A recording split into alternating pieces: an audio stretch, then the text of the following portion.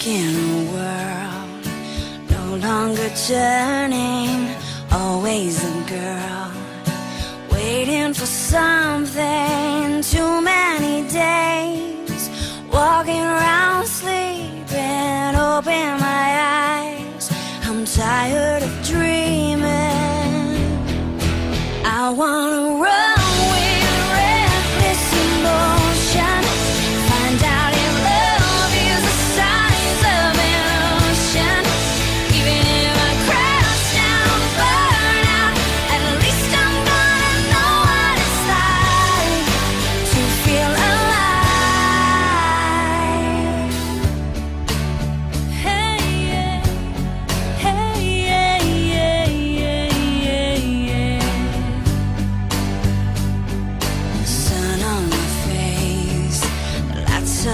destiny.